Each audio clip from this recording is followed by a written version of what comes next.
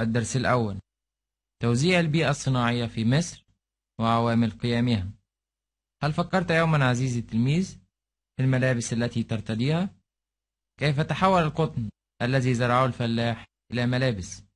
وهل فكرت يوما في الحقيبة التي تحمل فيها كتبك؟ كيف تحول جلد الحيوان إلى حقيبة؟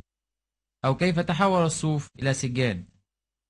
إن هذا التحويل يسمى صناعة فالصناعة هي عملية تحويل المادة الخام إلى منتجات أو مصنوعات. وبعد أن تعرفنا على معنى الصناعة تعالوا بنا نتعرف على المقصود بالبيئة الصناعية.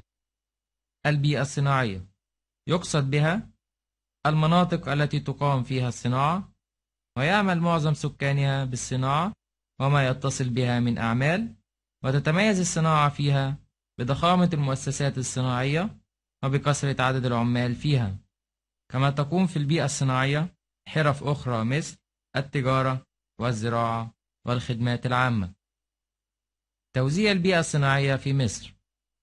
لو نظرت عزيزي التلميذ لخريطة توزيع المناطق الصناعة في مصر التي أمامك فتعرفت على تنتشر المناطق الصناعية في معظم جهات مصر. فقد تضم البيئة الصناعية مدنا كاملة مثل المحلة الكبرى كفر الدوار دمياط كفر الزيات الحومدية وكذلك توجد مدن صناعية جديدة مثل العاشر من رمضان السادس من أكتوبر العامرية الجديدة برج العرب.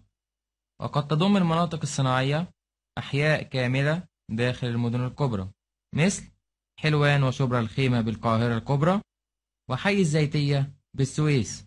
كما تنتشر بعض الصناعات التي تقام داخل الورش أو المنازل في كثير من قرى ومدن مصر وهي تسمى الصناعات اليدوية. ومن أمثلة الصناعات اليدوية وأماكن وجودها صناعة السجاد اليدوي بقرية الحرانية بالجيزة وصناعة تطعيم النحاس والخشب والعاج في القاهرة وأسيوط وصناعة الحرير في أخميم بمحافظة سوهاج. سؤال تخيل الإجابة الصحيحة مما يلي. واحد من الأحياء الصناعية الكاملة في السويس حي نقط حلوان شبرا الزيتية الحرانية.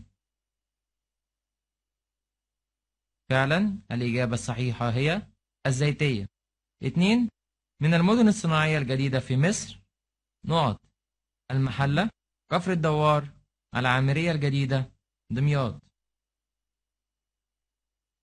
فعلا الإجابة الصحيحة هي العامرية الجديدة.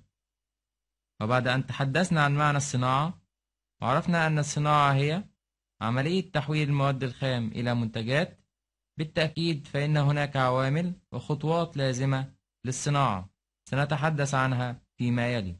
ما هي عوامل قيام الصناعة؟ واحد الإنسان النشط. حيث يتميز الإنسان في البيئة الصناعية؟ بالنشاط والتطور والعلم. والسعي إلى التنمية وجودة الإنتاج. حيث يهتم الإنسان بالتدريب على أحدث الأساليب والآلات وإدخال التكنولوجيا الحديثة في عمليات التصنيع. ملحوظة هامة. التكنولوجيا هي تطبيق العلم على الصناعة أو تطبيق العلم على العمل عن طريق الآلات والأجهزة العلمية المتطورة بدلا من العمل اليدوي وذلك لتحقيق جودة الإنتاج. 2. توافر المواد الخام. والمواد الخام اللازمة للصناعة قد تكون زراعية مثل القطن قصب السكر الكتان أو قد تكون مواد خام معدنية مثل الحديد النحاس الألمنيوم أو قد تكون مواد خام حيوانية مثل الجلود والألبان واللحوم والصوف 3. توافر القوى المحركة والتي تستخدم في تسيير المصانع وتشغيل الآلات مثل البترول الغاز الطبيعي الكهرباء. أربعة توافر رأس المال اللازم. رأس المال ضروري لإقامة المصانع وشراء الآلات والمواد الخام ونقل المنتجات ودفع أجور العاملين. خمسة توافر وسائل النقل. وذلك لنقل المواد الخام والعمال إلى المصانع ونقل المصنوعات إلى الأسواق. ستة توافر الأسواق.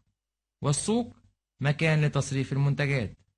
والأسواق متوافرة داخل مصر خاصة مع كثرة عدد سكانها كما يصدر الفائض إلى أسواق الدول الأخرى.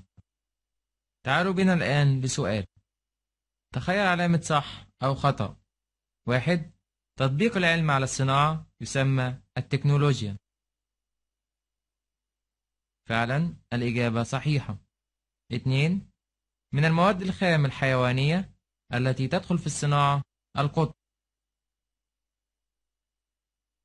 فعلا الإجابة صحيحة. وتصويب العبارة من المواد الخام الحيوانية التي تدخل في الصناعة الألبان. ثلاثة رأس المال غير ضروري لقيام الصناعة. فعلا الإجابة صحيحة. وتصويب العبارة رأس المال ضروري لقيام الصناعة.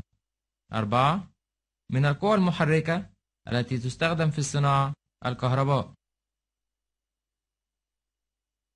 فعلا الإجابة صحيحة. والآن تعالوا نتعرف على مميزات الصناعة الحديثة. واحد استخدام التكنولوجيا في الصناعة. اثنين يعمل عدد كبير من العمال. في المصانع. ثلاثة الإنتاج الكبير. حيث تسعى المصانع لتحقيق وفرة الإنتاج لسد حاجات السكان والتصدير. ويعتمد الإنتاج الصناعي على جودة الخامات ودقة الصناعة حتى يستطيع الإنتاج المصري منافسة الإنتاج العالمي. والآن تعالوا بنا نتعرف على أهمية البيئة الصناعية لسكان مصر وما تقدمه هذه البيئة من خدمات لكافة سكان مصر. اذكر أهمية البيئة الصناعية لسكان مصر. واحد توفر فرص عمل للمواطنين فتقضي على البطالة.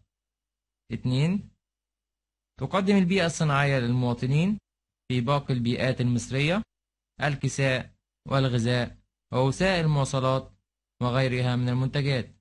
ثلاثة تساهم البيئة الصناعية في التصدير فتحصل البلاد على العملات الأجنبية اللازمة أربعة يؤدي الاهتمام بالصناعة إلى تقوية مصر واقتصادها فكلما قويت الصناعة قويت الدولة.